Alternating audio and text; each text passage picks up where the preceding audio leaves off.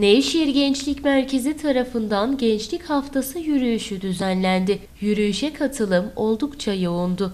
Her yıl 15-21 Mayıs tarihleri arasında kutlanan Gençlik Haftası bu yılda büyük bir coşkuyla kutlandı. Nevşehir Hükümet Konağı önünde saygı duruşu ve İstiklal Marşı'nın okunmasıyla başlayan kutlamalar, Gençlik ve Spor İl Müdürlüğü'nün çelenginin Atatürk büstüne sunulmasıyla devam etti. Akabinde Millet Caddesi üzerinde yoğun katılımlı gençlik yürüyüşü yapıldı. Yürüyüşe Gençlik ve Spor İl Müdürü Muhsin Özdemir, daire müdürleri ve çok sayıda genç katılım gösterdi. Programda açılan dev bayrak ise büyük bir ilgi çekti.